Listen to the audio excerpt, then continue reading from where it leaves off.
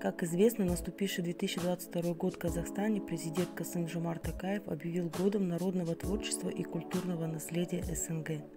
По его словам, культурно-гуманитарные измерения традиционно играют важную роль в сохранении исторических связей и дальнейшем сближении народов.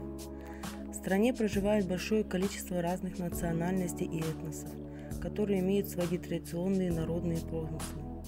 Культурное наследие прошлого все народы трепетно хранят веками – и год народного творчества – это возможность познакомиться как можно больше количества людей с многонациональным культурой и народным творчеством Казахстана.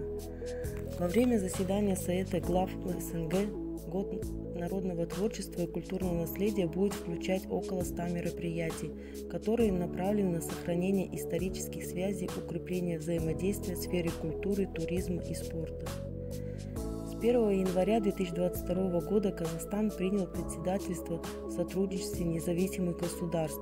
В 2021 году страной-председателем сотрудничества была Беларусь. Ожидается, что в октябре этого года в столице Казахстана соберутся главы стран-участниц сотрудничества.